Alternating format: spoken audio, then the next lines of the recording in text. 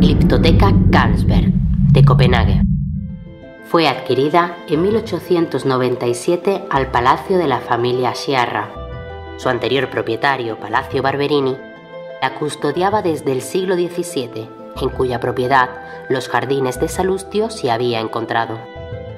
En la actualidad, le han sido retirados los elementos de restauraciones anteriores, conservando tan solo la restauración correspondiente al hombro izquierdo.